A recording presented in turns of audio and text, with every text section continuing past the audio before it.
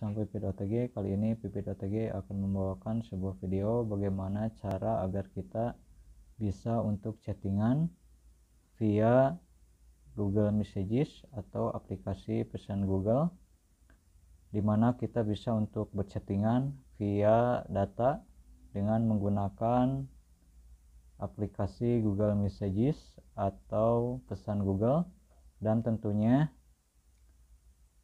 kita diharuskan untuk mengaktifkan fitur chat RCS atau Rich Communication Services dengan meregistrasi nomor kita.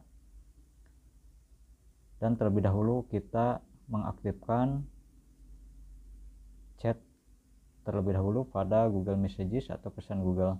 Dan tentunya orang yang dikirimi pesan juga diharuskan untuk atau terregistrasi via RCS messages ini atau Rich Communication Services ini. Nah, tentunya sahabat diharuskan untuk menginstal terlebih dahulu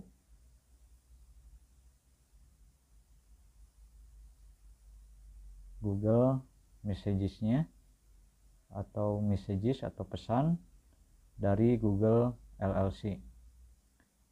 Nah, jika sahabat sudah menginstal aplikasi pesan Google atau Google Messages, silakan buka untuk aplikasi pesannya. Kemudian di sini kita tap aja titik tiga pada search conversation kita atau cari percakapan. Nah, kita tekan aja untuk titik tiganya atau menu titik tiganya Nah, kemudian di sini kita tap aja settings atau setelan atau pengaturan. Nah, kemudian di sini kita tap general atau umum. Nah, kemudian di sini kita tap aja untuk chat fitur atau fitur chat. Kemudian kita tap. Nah, kemudian di sini kita aktifkan untuk fitur chatnya, di mana kita bisa untuk chattingan via wifi ataupun data. Nah kemudian kita aktifkan. Nah di sini kita diharuskan untuk memverifikasi nomor ponsel kita. Kemudian kita tap aja verify your number.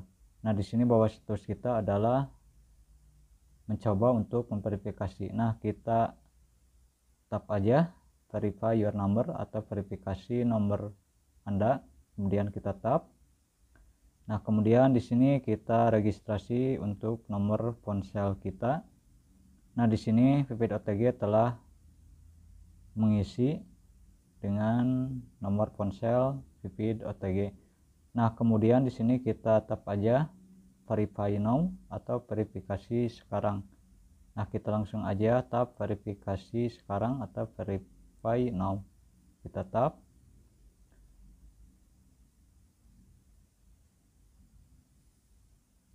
Nah, kemudian setelah itu kita tunggu hingga statusnya terkoneksi atau connected. Nah, bahwa ini nomor ponsel PP.OTG telah terregistrasi melalui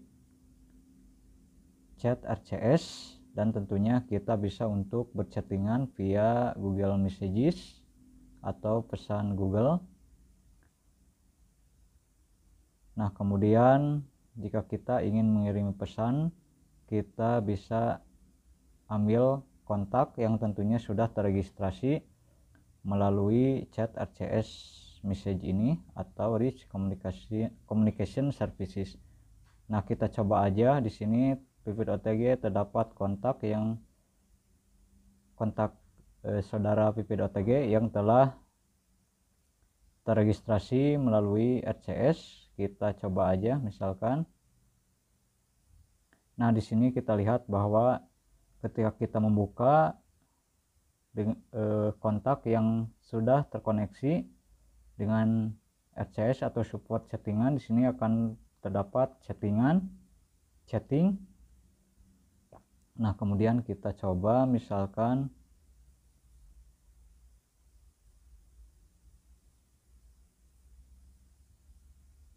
nah kemudian kita tekan aja send atau kirim. Nah kemudian kita akan melihat tanda bahwa pesan sudah dikirim atau terterima.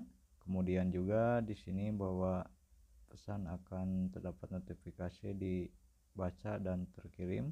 Dan juga kita akan bisa melihat orang yang dikirimi pesan ketika menulis teks akan terlihat notifikasi bahwa dia sedang menulis atau mengetik. Nah, kemudian di sini bahwa balasan dari saudara kita sudah diterima. Nah, ini adalah ketika kita mengirim gambar.